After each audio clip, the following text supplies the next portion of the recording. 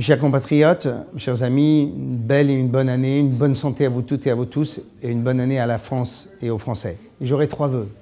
Le premier, c'est que nous retrouvions le sens du destin commun, que nous soyons rassemblés. Jamais la France n'a connu autant de tensions, de violences, parce qu'une partie de nos compatriotes se sent exclus du destin collectif. Et cela, ce sera le premier impératif pour le gouvernement, retrouver le sens de l'unité.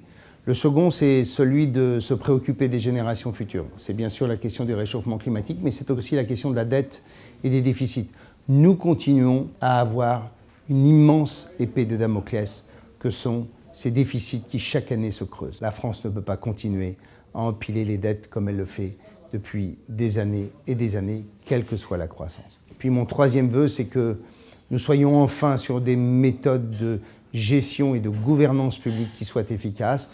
C'est toute la question de la décentralisation d'une France girondine qui, comme le reste de l'Europe, confie au pouvoir de proximité les politiques de proximité pour qu'elles soient efficaces. Ce n'est pas d'un bureau parisien avec systématiquement les mêmes solutions portées par la même technocratie qui permettra à la France de se réconcilier avec la décision publique. Et puis, mes voeux, c'est bien entendu des voeux pour la région, pour la Normandie. Le premier, c'est de continuer à être une région dynamique, avec des résultats économiques absolument exceptionnels. Aujourd'hui, notre région fait partie des trois meilleures régions françaises sur à peu près tous les indicateurs économiques, alors que nous étions traditionnellement plutôt dans les dernières euh, régions françaises. Nous avons su créer un écosystème régional extrêmement performant et nous continuons à investir massivement dans sa modernisation comme nous continuons à investir pour l'agriculture et le monde rural. Mon deuxième vœu, c'est bien entendu en faveur de la jeunesse.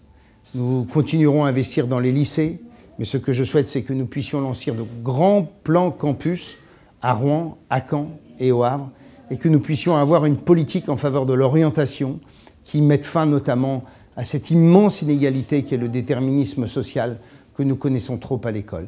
Et mon dernier vœu, c'est bien entendu l'amélioration du réseau ferroviaire.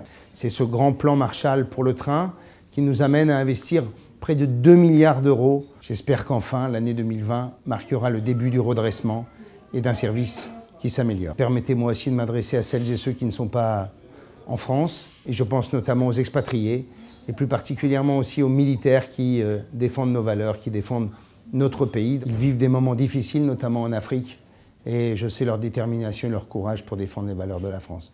Bonne année à vous tous.